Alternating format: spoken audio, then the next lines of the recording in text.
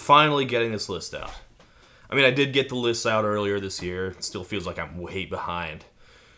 anyway, hey, remember 2017? Not a good year for mainstream music, right? Well, actually, I'm not sure how I judge whether a year is good or not. Right when the year's over, I'm like, did I mostly enjoy the music this year? And this year, the answer to that is definitely no. But the further in the past a year gets, the more I tend to ignore all the shitty parts and just judge it by how good the best stuff was. And I gotta admit, the stuff I liked in 2017, I really liked. Granted, that could be because the rest of the year was so samey sounding that the good stuff stood out way more. Or maybe it was just how surprising this year was. No one did what I expected them to do. Acts I hated turned out great. Acts I at least respected turned to complete dog shit. Maybe I'm projecting, but it sure seems like there was an upheaval. But I will say this, I had extreme difficulty narrowing my favorites down to 10 this year.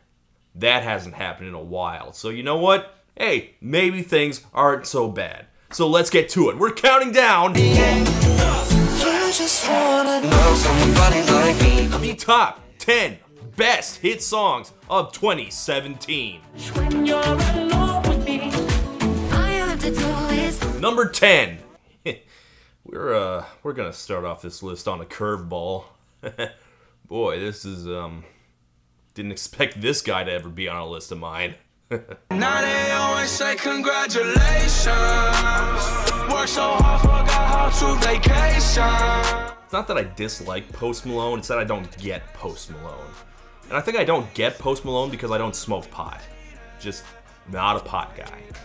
I mean, like, lighting something on fire and sticking it in my mouth to make myself stupider? I mean, no, never. It is not for me. I am anti-drugs. Or I don't know, maybe I don't like him because he sucks. Maybe he just sucks. He makes these droning, monotonous songs. He's like a rap version of the guy from Staind.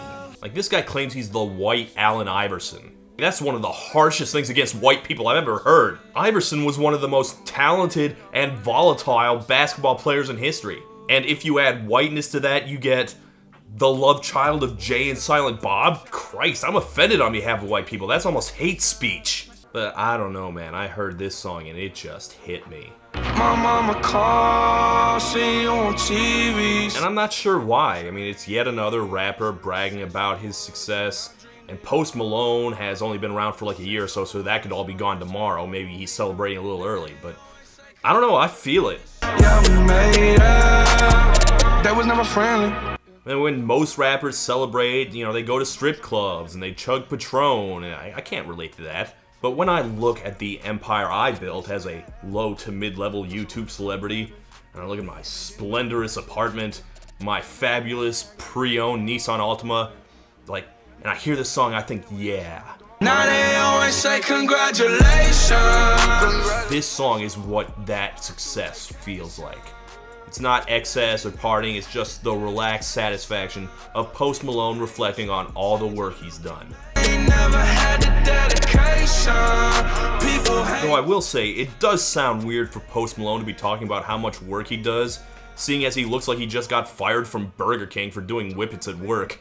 Even Quavo seems to want to be done with his guest verse as quickly as possible.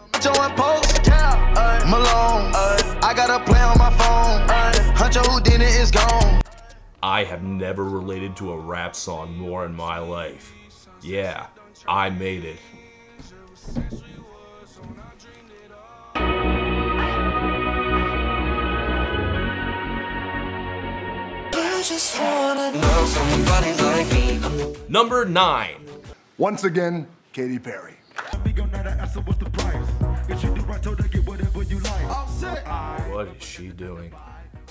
What is she doing? I don't think anyone would deny this was a bad year for Katy Perry. Nothing seemed to go her way. Her album bombed. She did whatever the hell this is. Somehow the woman who was the hottest pop star in the world at the start of the decade became unfathomably mom lame. I blame the haircut. And you could see it coming. Like, there are superstars who have a cult of personality, who will be famous no matter what happens, whose fans will follow them around no matter what, you know, like Gaga or Beyonce. But acts like Katy Perry who don't really have personalities of their own, they're famous as long as they have the tunes to back it up and not one second longer. Even I, the reluctant Katy Perry defender, have to admit that I never really cared about her as a person. Or at least I didn't until 2017, when the Katy Perry persona developed an intriguing new layer deep and thorough self loathing.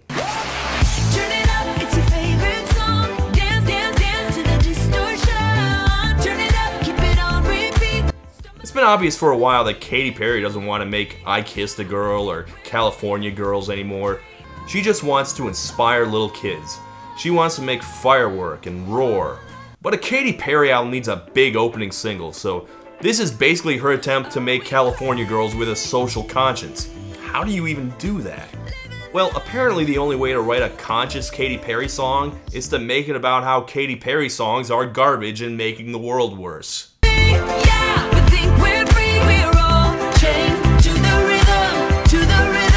It's basically self-defeating, and I'm not comfortable with it for that reason. It's like a book called Don't Read This Book. So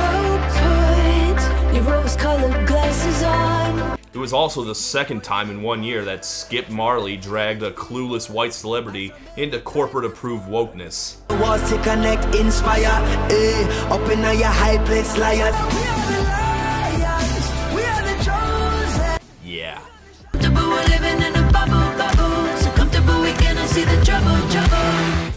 As someone who really loves stupid pop songs, I'm a little insulted. Stupid pop music is the only thing that keeps me going in our current whirlwind of bad news. We need happy, stupid songs like Katy Perry used to make. Okay, maybe we don't. Look, my first instinct was to dismiss this song, but as the year went on and on, and Katy Perry kept stumbling and looking sadder and sadder with each terrible flop single and embarrassing public appearance, Chained to the Rhythm kept sounding just darker and sadder. And there were plenty of songs about misery and sadness this year, some of which deserve to be on this list way more than Chained to the Rhythm. But I don't know, coding the dread of 2017 and Katy Perry frosting just made it seem even darker than anything I heard this year. And to be clear, yes, all of that is totally what this song is about, I'm not projecting. You want to know how Katy Perry finished the year? As Marie Antoinette. Yeah, stay tuned for her next single, I'm Awful, Please Behead Me.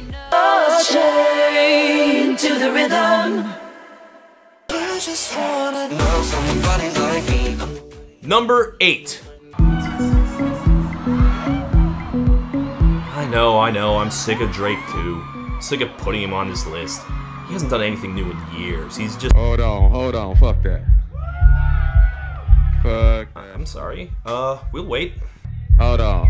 I got to start this motherfucking record over again. Wait a minute. Fuck that shit. Hey, y'all get some more drinks going on. I sound a whole lot better. Are we done? I can get back to it? Okay. Well, anyway, Drake is treading water. He dropped another mixtape this year. I'll be straight with you. I didn't listen to it.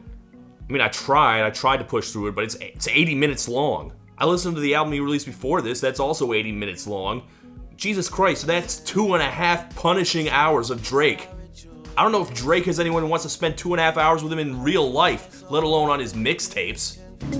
Got issues that I won't mention for now, cause we're falling apart. But I don't know, like, no matter how many times I hear him do it, Drake failing at his relationships never stops being compelling to me. Even Hotline Bling, that most tunnel visioned, self centered, head up his ass song in his repertoire, has grown on me. And I just like the vibe here. It's, it's like an alternate version of Hold On, We're Going Home. Granted, it doesn't have as good a beat or melody, but the lyrics are better. Passion Fruit I like specifically because I have also had long distance relationships and passionate from miles away sounds very familiar to me, especially the implied failure to live up to that passion in person. Passionate from miles away passive with the things you say. Yeah, it turns out sexting is not a relationship. And speaking as a dude who is also in perpetual meltdown mode, yeah, what can I say? I relate. I totally see myself in Drake's moody failures. Although, I'm not as bad as Drake. Honestly, I don't know why anyone dates Drake anymore. It's like dating Taylor Swift, you have to know what you're gonna get. Oh, he's distant, drunk all the time, and having difficulty connecting? Surprise! No, no, no, no, no. Yeah. I just wanna love somebody like me. Number 7. Performing her new song, Water Under the Bridge, once again, Adele! Yes, Adele. It is time again to praise Adele. God knows she needs it. Adele needs more praise. Why don't we all give Adele more praise and awards and shit for being so great? Isn't she just great? God, I'm more predictable than the Grammys. If you're gonna let me down, let me down gently. Don't pretend that you don't want me. I'll love you, under the bridge. Look, the album's been out for more than two years now. You know what it's about. It's about reminiscing and trying to rekindle old flames that probably should remain out. It plays out a billion different ways over the course of the album. There was desperate pleading, there was resignation, there was. I think this one was sarcasm. But I feel like Water Under the Bridge is a markedly different Adele than one I've ever heard anywhere else. You're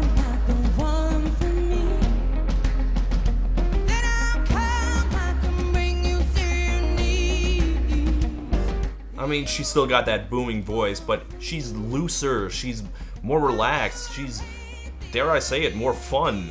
I mean, I've heard dance remixes of Adele that remind me of Whitney Houston. And I feel like there's like a tiny hint of that in that. Like, I hear that and I think she could totally be a dance diva if she wanted to. I mean, that'd be amazing. Imagine it. From what I understand, it's like one of the few songs that she's put out in the last couple albums that's not about an ex at all. I just kind of assumed it was because that's what the entire album sounds like, but this is actually a song about her future husband. Apparently, she was anticipating that he'd become a dick and brutally dump her, and then she'd have material for another few albums. And that just kind of never happened. This guy turned out to be the real deal. Well, that's just heartwarming, right? And maybe that's why she sounds like she's having fun for once. Like, even though it's mostly a song about fear that she's gonna get destroyed like usual, I mean, you can see the rays of hope and sunshine peeking through.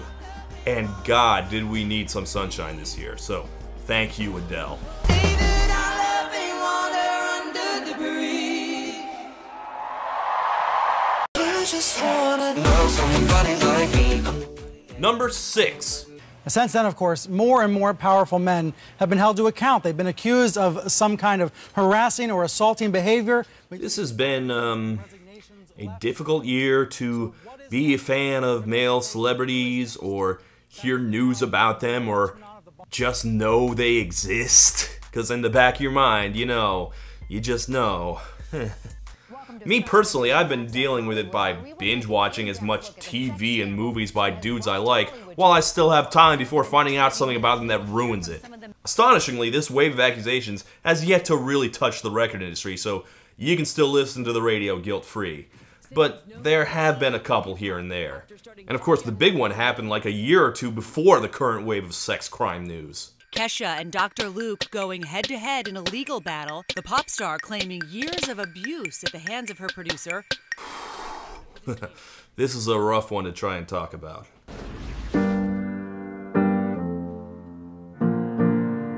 Kesha got famous playing a tacky, sloppy, drunken party girl. And she played it so well that I was certain, I mean dead certain, that it had to be just who she really was. But slowly we all kind of realized that Kesha had to have more going on. Like there were stories circulating about her having like perfect SATs, and there was just like a general lack of embarrassing news about her that you'd have expected. And then the rape accusations came out, and that was a whole thing that derailed her career for years while she tried to get out of her contract. You brought the flames and you put me through hell. And on top of every other unfair thing about this story, I was certain that even after she got out of that contract, her career would be over. Like, she built an image, and this completely destroyed it. You can't be a party girl after that. And you said that I was done. But the amazing thing was she pulled it off by directly addressing it. Her song is basically a letter to the man who assaulted her, and it is powerful. I hope you're somewhere praying, praying. I hope your soul is changing. I mean, it is a song about forgiveness, but like the really condescending forgiveness that Southerners like to use to remind you that you're a loathsome piece of shit. It's called praying because it is a truly deep spiritual cleansing, in the sense that, you know, being burned alive is. When I'm finished, they won't even know your name. Kesha says in this song that she wants the best for Dr. Luke.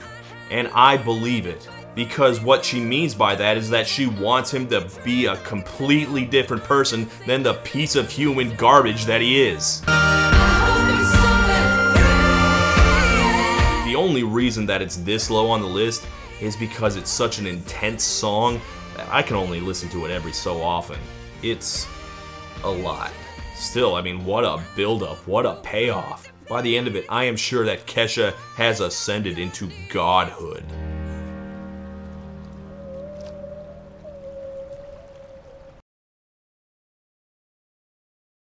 After these messages, we'll be right back. Yeah.